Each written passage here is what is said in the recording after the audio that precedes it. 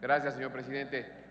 Tengo una presentación, si me puede ayudar eh, la parte técnica, por favor. Yo quiero empezar esta intervención señalando, en primer lugar, que de ninguna manera, de ninguna manera podemos reducir este debate a la simplicidad de si estamos a favor o estamos en contra de los bancos. Me parece que eso es una manera irresponsable de debatir los temas en la Asamblea Nacional. Me parece que evidencia escasez para debatir ideas. Y en primer lugar, mi total respaldo, mi total apoyo al incremento del bono de desarrollo humano de 35 a 50 dólares. Pero cualquier propuesta se tiene que hacer dentro del marco de la ley y dentro del marco de la Constitución. Compañeros asambleístas, el artículo 68 de la Ley Orgánica de la Función Legislativa, ley que no fue elaborada por la oposición, la ley orgánica fue elaborada por Alianza País en el congresillo que derivó de la Asamblea de Montecristi. El artículo 68 está en la pantalla.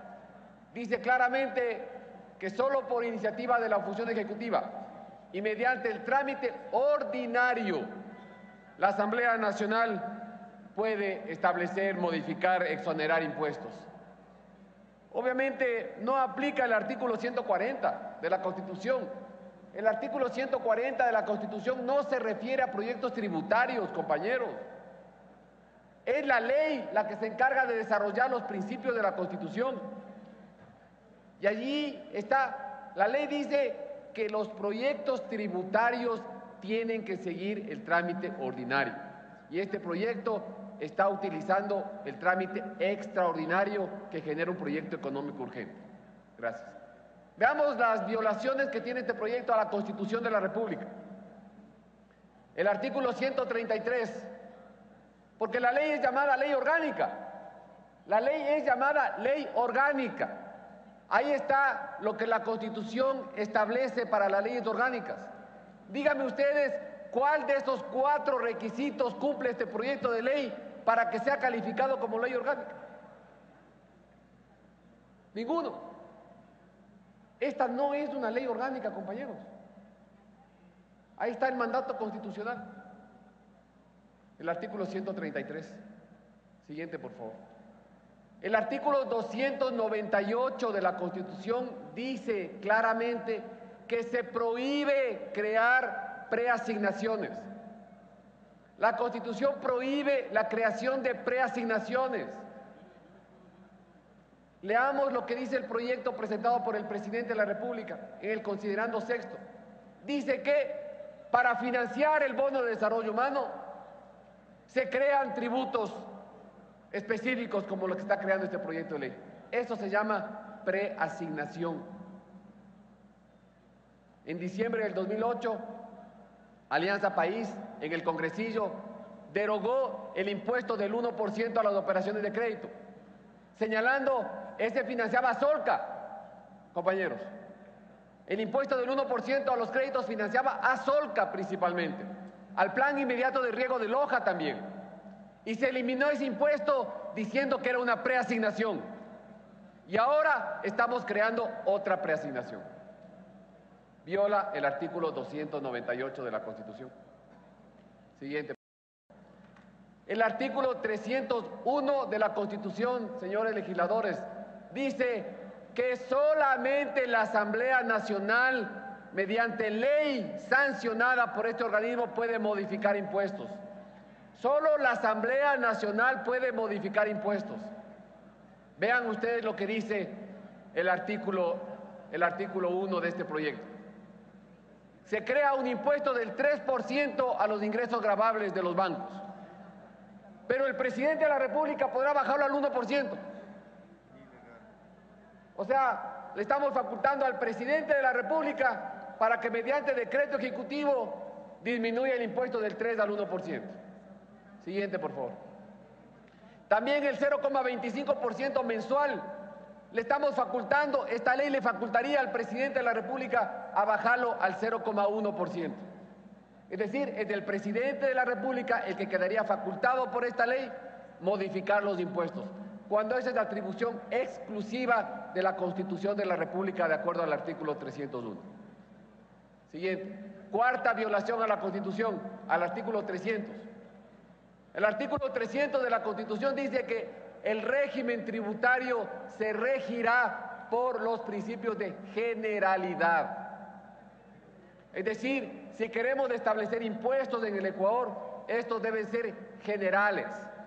Si queremos afectar la utilidad empresarial, tenemos que crear un impuesto para la utilidad empresarial. Pero no solamente afectada a un solo sector de la economía del país, y ni siquiera a un solo sector, solo a los bancos, ni siquiera a todo el sector financiero. Siguiente, por favor. Siguiente, por favor. Voy a pasar a la siguiente lámina, la siguiente. Miren ustedes, compañeros. Yo les muestro en la pantalla el tamaño de los bancos en el Ecuador, de los bancos medianos y pequeños, y a la derecha está el tamaño de las cooperativas de ahorro y crédito del país. ¿Saben ustedes que hay muchas cooperativas de ahorro y crédito que son más grandes que muchos bancos. Ahí está en la pantalla, compañeros. Muchas cooperativas de ahorro y crédito son más grandes que algunos bancos. Pero resulta que solamente ponemos impuesto a los bancos, no a las cooperativas de ahorro y crédito, que, que hacen la misma función que hace un banco. Capta depósitos y coloca al sector productivo o a los ecuatorianos que desean sacar un crédito. Se está legislando contra, ni siquiera contra un sector de la economía, contra el sector financiero, no, se está legislando contra 36 contribuyentes, sin ningún criterio técnico. Siguiente, por favor. Finalmente, ahí pueden ver ustedes, compañeros, que hay varios sectores empresariales en el Ecuador que tienen rentabilidad más alta que los bancos. Ahí están los sectores. Varios tienen utilidades más altas que el sector bancario. Entonces, no estamos haciendo un proyecto técnico que genere un impuesto a las altas utilidades empresariales. Estamos tomándonos contra un sector porque, porque hubo un candidato presidencial que hizo la oferta de subir el bono y como ese candidato viene del sector bancario, entonces a ese sector le tenemos que poner impuestos. Siguiente, por favor. Esta es la reforma tributaria que estamos tratando hoy día, compañeros legisladores. Yo les quiero hacer notar lo siguiente.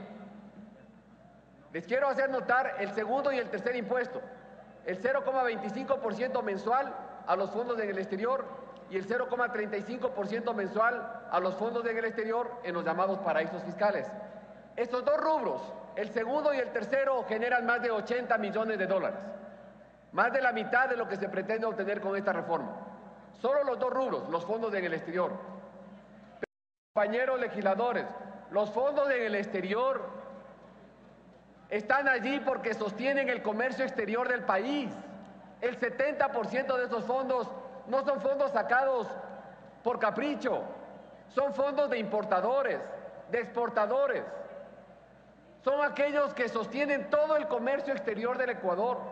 Con esos fondos se paga eh, el valor del costo del flete marítimo, el flete aéreo, las materias primas que consumimos todos los ecuatorianos. No estamos poniendo un impuesto a los bancos, compañeros. Estamos poniendo un impuesto a los fondos en el exterior. ¿Quiénes son los dueños de esos fondos en el exterior? Buena parte de los dueños de esos fondos son importadores del Ecuador, que van a trasladar ese impuesto al valor de los productos que están importando. Y por lo tanto va a terminar siendo el consumidor ecuatoriano el que termina pagando una parte de los impuestos que estamos generando hoy día. Y vamos a volver a encarecer los productos de consumo de los ecuatorianos como consecuencia de estos nuevos impuestos. Siguiente, por favor. Señores legisladores, ya el artículo 107 actual establece el levantamiento del sigilo bancario con fines tributarios. El superintendente de bancos, como ustedes pueden ver en la pantalla, ya contestó hace pocas semanas que no corresponde a la autoridad tributaria disponer al sistema financiero que se le proporcione la información protegida por la ley con reserva o sigilo. Lo que se pretende hoy día es mucho más que el levantamiento del sigilo bancario con fines tributarios. Es el levantamiento de toda la información de los ecuatorianos en, el sistema financiero. Todos los movimientos de todos los días, todos los depósitos, todos los movimientos, los 30 días del mes, los 12 meses del año, es realmente atentar contra la reserva a la que tiene derecho todo ecuatoriano. Ya la actual ley tributaria le permite al SRI pedir el levantamiento del siglo bancario cuando está haciendo una determinación tributaria. Muchas gracias, señor presidente. Quiero pedirle al final cinco minutos adicionales, señor presidente, en la segunda ronda, por favor.